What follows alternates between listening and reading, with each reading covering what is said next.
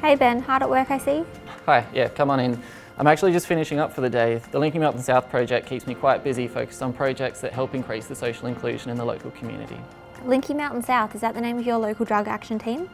Yeah, uh, but we just call them LDATs. Oh, I like LDATs. Can I use that? Yeah, go for it. So what does your LDAT involve?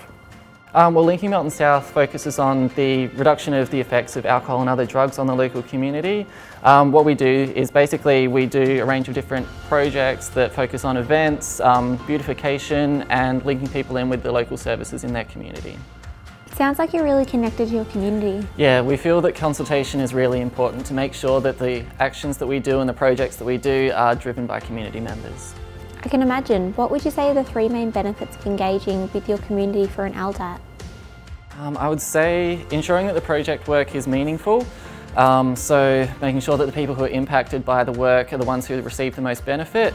Um, that the projects are sustainable, so it's an ongoing uh, project, and also that the outcomes themselves are ongoing. And what's the biggest activity you've worked on with the community? Uh, probably the Dream Big Festival. Um, so that's an arts and culture event that takes place in Melton South every year. Um, the idea behind it is being able to celebrate the local community um, and build a sense of social connection as well. That sounds huge. Did you have a big team to help you? Um, there's only a few staff who work on it, but we do have a steering committee of around 26 people. Um, so that includes volunteers, local community members, and also community partners as well.